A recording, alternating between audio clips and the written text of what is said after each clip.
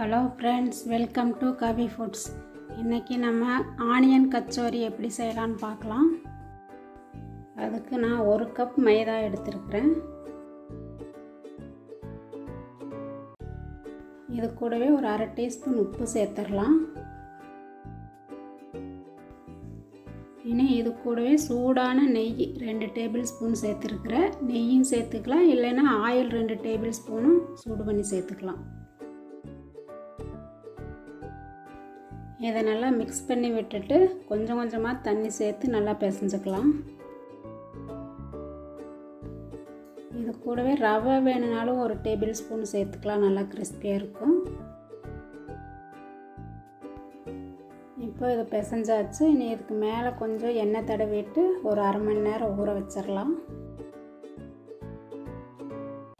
இப்போ கடாய் ஸ்டவ்வில் வச்சுட்டு சூடானதுக்கப்புறம் ரெண்டு டேபிள் ஸ்பூன் எண்ணெய் சேர்த்துக்கலாம். எண்ணெய் சூடானதுக்கப்புறம் அரை டீஸ்பூன் ஜீரகம் அரை டீஸ்பூன் சோம்பு சேர்த்துக்கலாம்.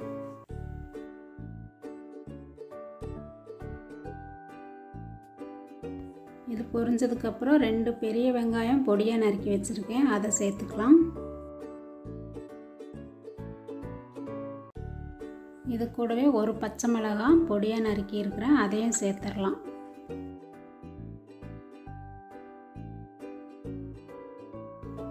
இந்த வெங்காயம் நல்லா வதங்கிறதுக்காக அரை டீஸ்பூன் அளவுக்கு உப்பு சேர்த்துக்கலாம்.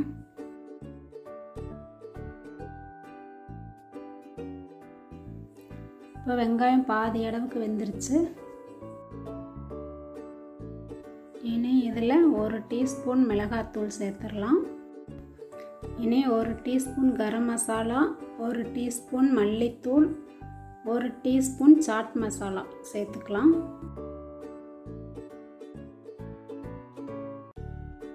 இதை எல்லாத்தையும் நல்லா மிக்ஸ் பண்ணிக்கலாம்.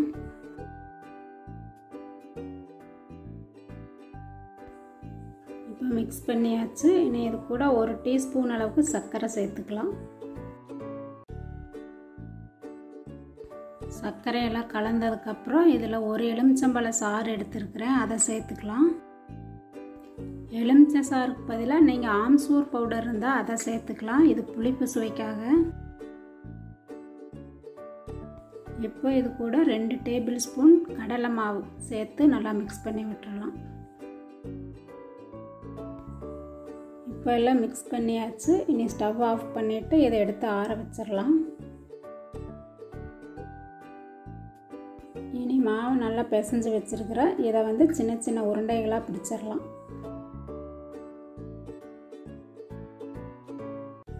இப்போ இந்த உருண்டையை கொஞ்சம் பரப்பி விட்டுட்டு இது கூடவே அந்த மசாலாவை உள்ளே வச்சு மூடி தேய்ச்சிக்கணும். மாவை சின்ன உருண்டையாகவே எடுத்து தேய்ச்சிக்கிட்டோன்னா நல்லா கிறிஸ்பியாக கிடைக்கும். மாவை நல்லா பரப்பி விட்டுட்டு அது கூட ஒரு ரெண்டு ஸ்பூன் அளவுக்கு மசாலாவை வச்சுட்டு அந்த மாவால் மசாலாவை க்ளோஸ் பண்ணிடலாம்.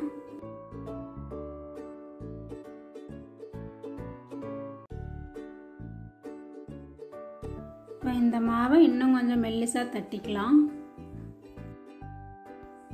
இதே மாதிரி எல்லா உருண்டைகளையும் மசாலா உள்ளே வச்சு தேய்ச்சி எடுத்துக்கலாம். இப்போ மசாலாலாம் வச்சாச்சு. இனி எண்ணெயில் போட்டு பொரிச்சுக்கலாம். இப்போ எண்ணெய் சூடாயிருச்சு. இப்போ அந்த தேய்ச்சி வச்ச உருண்டைகளையெல்லாம் போட்டு பொரிச்சு எடுத்துடலாம். ஒவ்வொரு டைம் ரெண்டு இல்லை மூணு போட்டு வெந்ததுக்கப்புறம் எடுத்துடலாம். இப்போது ஒரு சைடு வெந்துருச்சு. இனி திருப்பி போட்டு வேக விட்டு எடுத்துடலாம். தீ வந்து மீடியம் ஃப்ளேம்லேயே வச்சுக்கோங்க. இப்போ வெந்துருச்சு. இதை எடுத்துடலாம். மீதி இருக்கிற உருண்டைகளை இதே மாதிரி பொறிச்சு எடுத்துடலாம். இப்போ பாருங்கள் நல்லா கிறிஸ்பியாக வெந்துருச்சு. இப்போது ஆனியன் கச்சோரி ரெடி இதை நீங்களும் செஞ்சு பார்த்துட்டு எப்படி இருக்குதுன்னு கமெண்ட் பண்ணுங்கள் இந்த வீடியோ உங்களுக்கு பிடிச்சிருந்தா லைக் பண்ணுங்கள் ஷேர் பண்ணுங்கள் சப்ஸ்கிரைப் பண்ணுங்கள்